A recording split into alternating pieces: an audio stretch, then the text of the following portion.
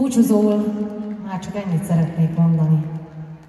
Legyen előtted mindig út, fújjon hátad mögül a szél, melegen süsse arcodat a nap, az eső puhán essen földjeidre, és még újra találkozunk. Hordozzon tenyerén az Isten!